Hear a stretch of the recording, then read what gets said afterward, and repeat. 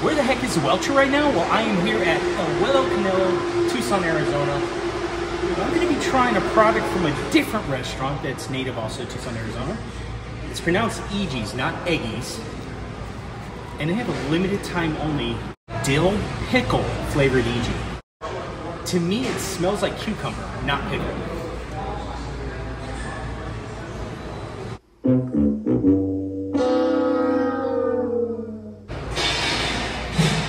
Not good. Very, um, very tart. Tastes nothing like pickles. It tastes like if you poured a bunch of like lime juice on cucumber. Literally, add some salt. Not good at all. Zero out of ten. Nasty. Thank you so much for watching. If you want more of this kind of content, subscribe to my channel. Dislike this video.